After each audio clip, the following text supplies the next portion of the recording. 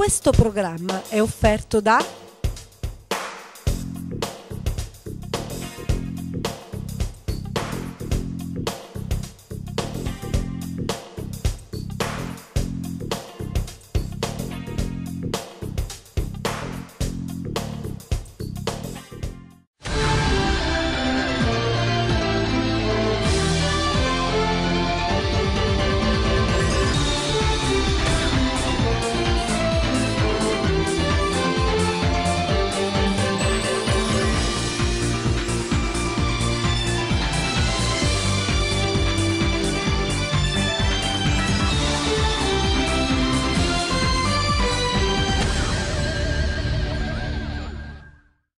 al buio da mesi e neanche il servizio di lampade votive.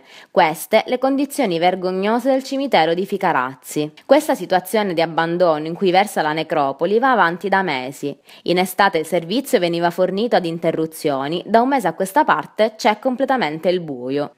Alcuni cittadini si sono attrezzati da sé portando dei lumini a batteria, tutti inascoltati, nemmeno una risposta, una giustificazione dall'amministrazione, come se il problema non esistesse. Il posto dove riposano i nostri cari, che ci hanno lasciato in questa valle di lacrime, non può essere abbandonato, trascurato così lasciato al buio per mesi interi. Inoltre di sera anche la luce dei pali dell'illuminazione pubblica, dal corso principale di Ficarazzi fino al cimitero, è sempre fioca e poco luminosa. Qual è la ragione del problema? Problema. Questo lo chiediamo all'amministrazione tutta, ma soprattutto al nostro sindaco Martorana. La situazione crea disagio non tanto per la fruibilità dei cimiteri da parte degli utenti, quanto per il significato che la loro presenza riveste ricordare i defunti. E l'attuale situazione è veramente vergognosa. Intascavano i soldi delle bollette e così con questa pesante accusa due dipendenti AMAP sono finiti in manette. Si tratta di Carmelo Di Bella, 56 anni, e Carlo Fasetti, 52 anni. I due accusati sarebbero degli addetti alle riscossioni dei debiti dei condomini morosi. L'indagine è partita in seguito alle dichiarazioni fatte da alcuni dirigenti dell'AMAP, che venivano intimiditi da due loschi individui con atteggiamenti in stile mafioso. La coppia di furfanti riusciva a farla franca e dunque intascavano i soldi delle bollette manomettendo il sistema informatico di controllo della società e raccogliendo così, in maniera del tutto illecita, circa 900.000 euro.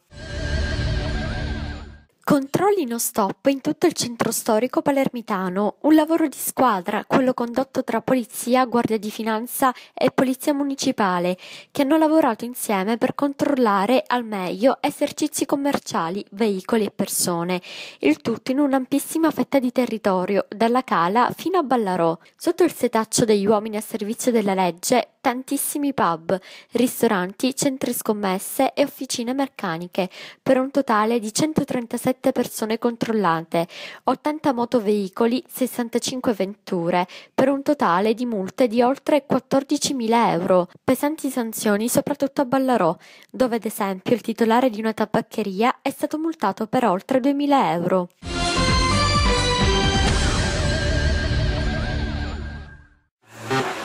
You sexy, sexy dancer.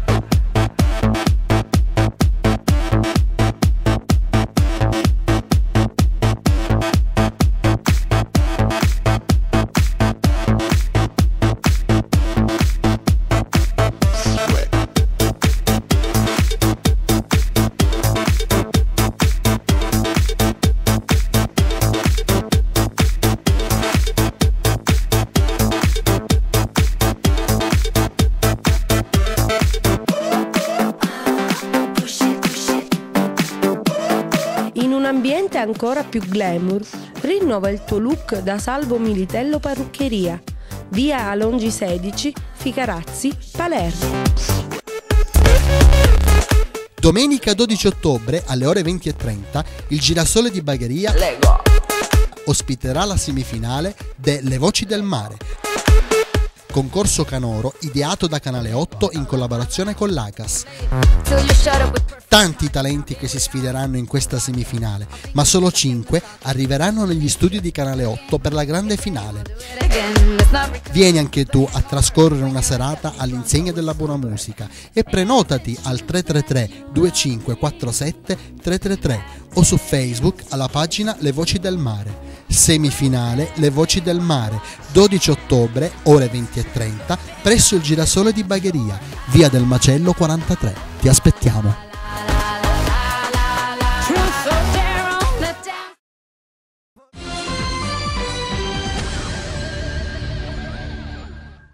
La commissione straordinaria di Altavilla Milice ha deliberato le nuove aliquote dell'addizionale IRPEF e dell'IMU. Nonostante Altavilla Milice sia un comune economicamente sano e con debiti tra i più bassi del territorio, a causa del patto di stabilità e di mancati introiti dallo Stato e dalla Regione Sicilia, è stata aumentata l'aliquota dell'addizionale IRPEF dal 0,5 al 0,8%.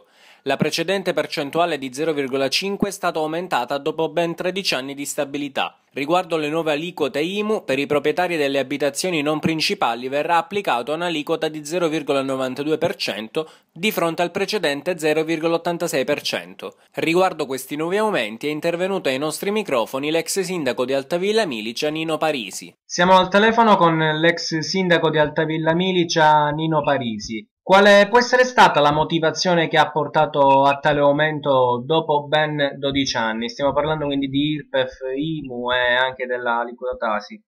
Guardi, io non riesco a capire qual è stata la logica, la razio della Commissione straordinaria per arrivare a questi aumenti, poiché il Comune di Villa Milice è uno dei comuni più dal punto di vista economico-finanziario,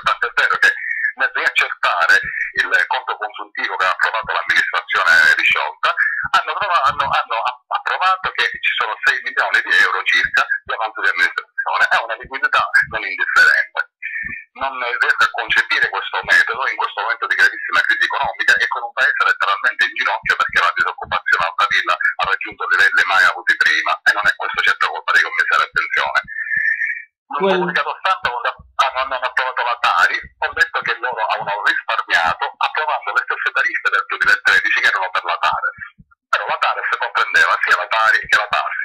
Quindi non capisco come mai nel, loro nel bilancio preventivo mettono che ci sono gli stessi costi dell'anno 2013, però vanno a aumentare, in questo caso vanno a imporre la TASI, quando in altri comuni come Villafrati per esempio o Pollina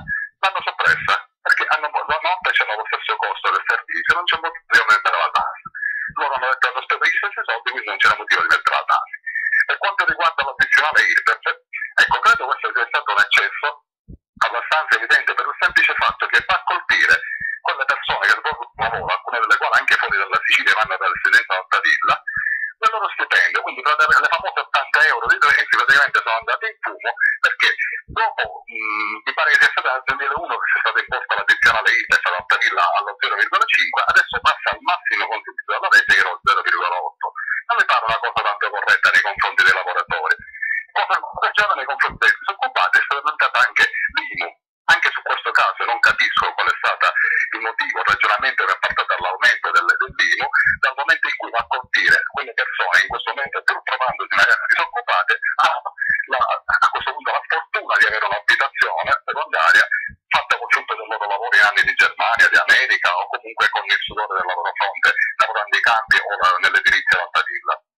Quello che colpisce è che questo aumento si sta avendo dopo ben 13 anni di stabilità del comune di Altavilla Milice, che come diceva è un comune virtuoso e che comunque sia nelle casse, eh, che nelle casse eh, si trova in, un, eh, in, una situazione differente da comuni in dissesto, ad esempio come quello di Bagheria. Nel comune di Altavilla Milice è stato riaccettato il consultivo che ha approvato la vecchia amministrazione, cioè la mia amministrazione,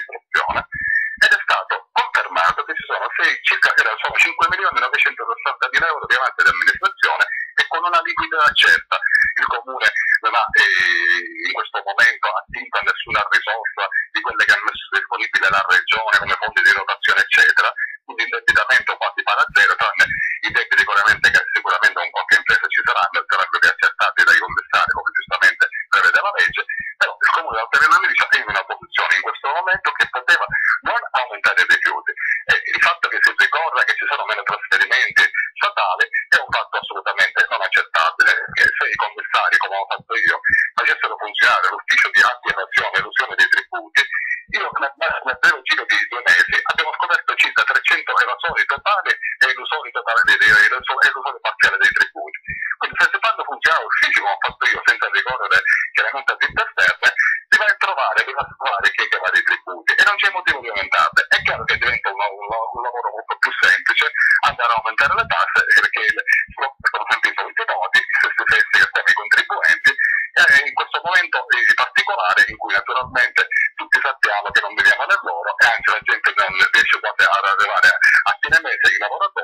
lavoratori, quelli che non lavorano nemmeno a assicurare il giornaliero ai loro familiari.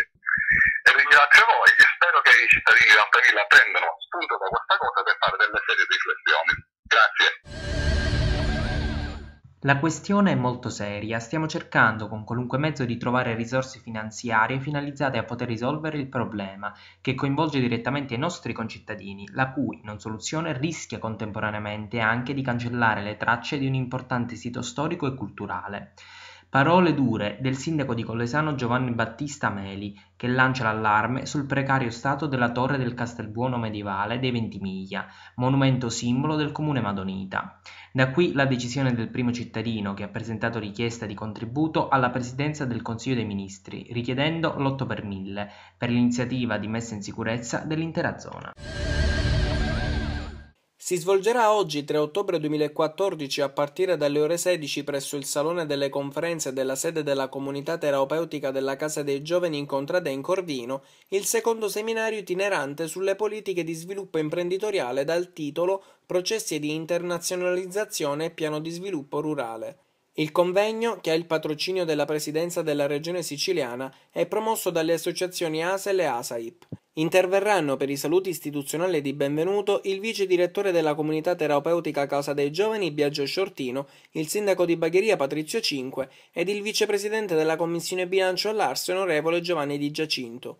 Introdurranno i lavori Matteo Cocchiera, presidente dell'ASAEL, e Leonardo Passarello, presidente dell'ASAIP. Tra i relatori il funzionario creditari Coldiretti Sicilia Elio Barbera, l'esperto in creazione di imprese e finanza agevolata Domenico Pipia e l'esperta di internazionalizzazione della PMI Maria Rosa Sanfilippo. Concluderà i lavori il senatore della Repubblica onorevole Giuseppe Lumia.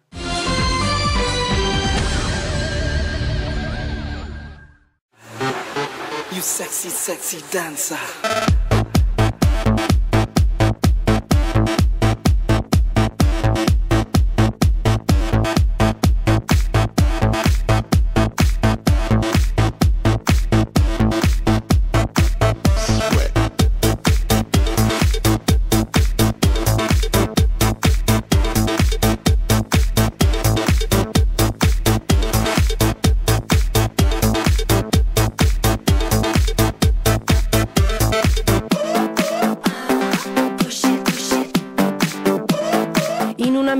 Ancora più glamour, rinnova il tuo look da Salvo Militello Parruccheria, via Alongi 16, Ficarazzi, Palermo. Io voglio aiutare Apriti Cuore perché Apriti Cuore ci aiuta sempre. Ma per farlo abbiamo bisogno dei grandi. Tu decidi come utilizzare il tuo 5 per 1000. Firma a favore di Apriti Cuore Onlus. A te non costa nulla in più, ma per Apriti Cuore è un aiuto concreto. Apriti Cuore si prende cura dei soggetti più deboli. Bambini vittime di maltrattamenti e abusi. Minori stranieri senza famiglia e persone con disabilità psicofisica. Aiutaci anche tu!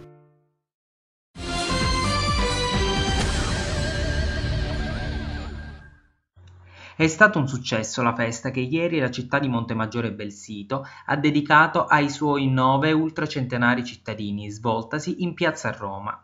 Sono cinque donne e quattro i nonni sprint che hanno spento, alcuni già da qualche anno, ben cento candeline. La piazza colma di gente gioiosa ed il sindaco Domenico Porretto, con tanto di fasce tricolore, hanno fatto festa con una torta di ben 120 kg a base di crema gialla, panna e cioccolato. Presenti per la giornata del secolo e più, voluta dall'amministrazione in sei. Filippo Lentini, 102 anni, Paolina Catalano, Agata Geraci, Vincenzo Impellitteri, Santa Rizzo e Giuseppe Militello, 100 anni. Per la più longeva, Vincenza Millonzi, di 104 anni, e Perosina Siragusa, di 101, invece, a festeggiare sono arrivati figli. Quale che sia l'elisire di lunga vita nascosto tra le vie del comune palermitano, in molti stanno già facendo un pensierino per trasferirsi tra i borghi del piccolo centro immerso nelle Madonie. Sarà assegnato sabato 4 ottobre a Bagheria, nella sala Borremans di Palazzo Butera, il premio addetto stampa dell'anno, iniziativa lanciata dal gruppo Uffici Stampa, articolazione dell'Associazione Siciliana della Stampa. La consegna dei riconoscimenti sarà il momento conclusivo di una giornata dedicata al tema degli uffici stampa, alla loro funzione nel rapporto tra istituzioni e cittadini, alla sostanziale mancata applicazione della legge 150 del 2000 e agli aspetti contrattuali e deontologici legati alla figura dell'addetto stampa. L'evento, sponsorizzato da Unicredit, ha ottenuto il patrocinio del comune di Bagheria, della Sostampa e dell'Ordine dei giornalisti di Sicilia, che lo ha inserito tra gli appuntamenti validi ai fini della formazione degli iscritti. Titolo del convegno è Il giornalista degli uffici stampa al servizio della trasparenza, diritti e doveri. I lavori, coordinati dal presidente del GUS Sicilia Francesco Di Parenti, inizieranno alle 10 con i saluti del sindaco di Bagheria Patrizio Cinque e del segretario della sua stampa Alberto Cicero, del vice segretario della FNSI Luigi Rosinsvalle e di Vincenzo Tumminello, responsabile del settore pubblico Unicredit. La Sicilia è una terra che possiede un fascino straordinario grazie alle sue infinite bellezze, gli odori, i paesaggi, il mare, il sole, i monumenti e tantissime altre sfaccettature di una terra maledettamente bella.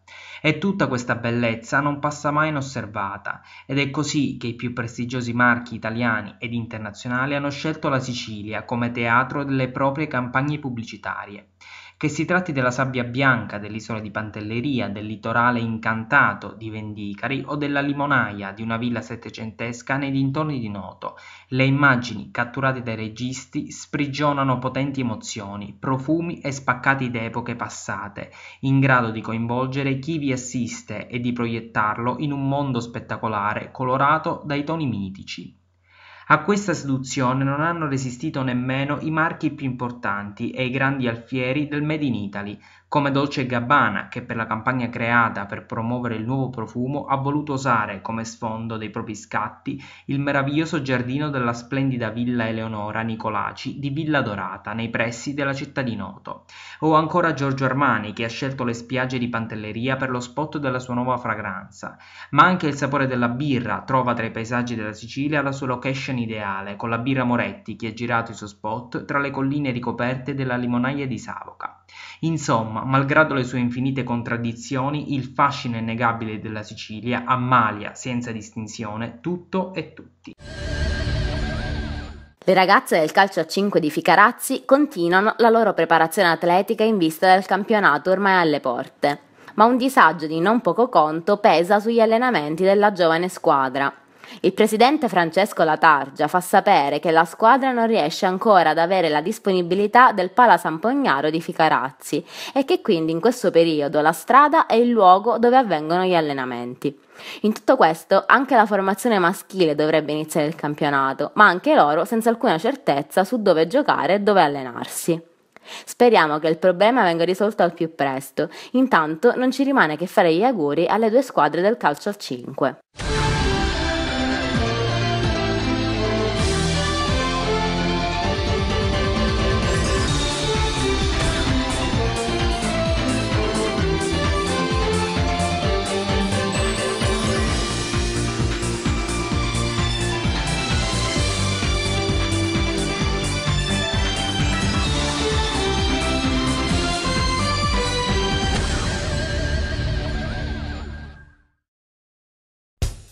Questo programma è stato offerto da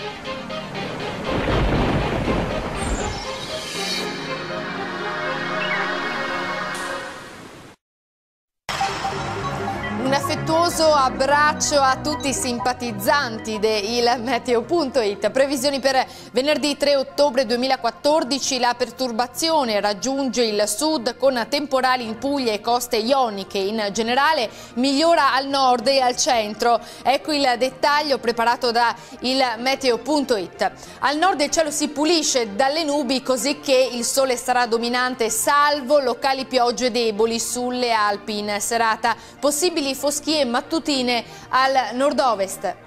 Al centro ultime piogge in Abruzzo e Molise, peggiora sulla Sardegna meridionale con piogge, qualcuna ancora sul Lazio meridionale, sole prevalente altrove. Al sud temporali e piogge sulla Puglia, Golfo di Taranto, tutte le coste ioniche fino alla Sicilia orientale, precipitazioni più irregolari sul resto dei settori dove non mancheranno occasionali ed isolati temporali. I venti soffiano deboli dai quadranti eh, settentrionali su tutti i nostri bacini. Temperature minime in leggera diminuzione al nord, stabili altrove comprese tra i 13 e i 20 gradi su tutta la penisola.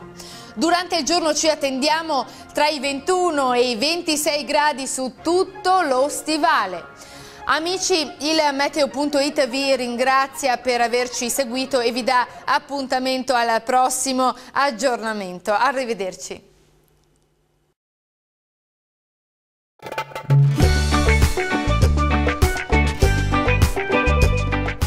Buona giornata con l'Almanacco Barbanera. Oggi è il 3 ottobre, si ricorda San Gerardo. Il nome Gerardo, dal germanico Gerald, significa abile nel maneggiare la lancia.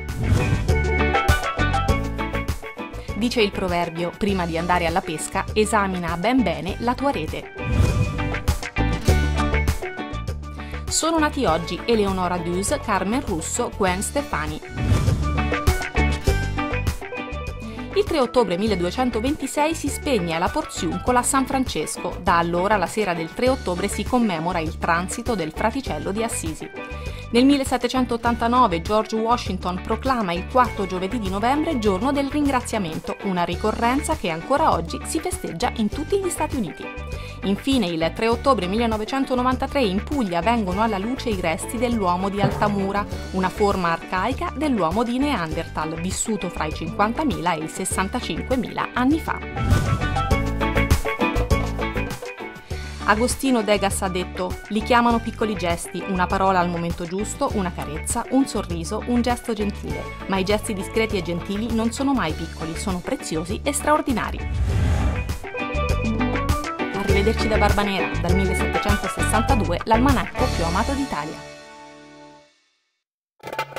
Bentrovati con l'oroscopo di Barbanera, l'almanacco italiano dal 1762, venerdì 3 ottobre.